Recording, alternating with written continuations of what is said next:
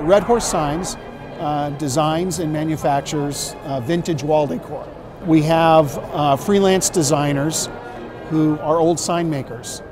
And the goal is to replicate the bygone era when old vintage advertising was ubiquitous everywhere. And so these uh, designers hand paint an original sign that looks like an antique. Then we scan that into a computer uh, and then we print reproductions onto distressed wood panels. I think people really respond to a sense of the good old days. And so that's what we're really trying to capture is that kind of romantic notion of what it was like, you know, many years in the in the old days, the good old days. And so that's our really our niche is for um, second homes, vacation properties, where people want to be, you know, have a kind of an old throwback feeling to the decor.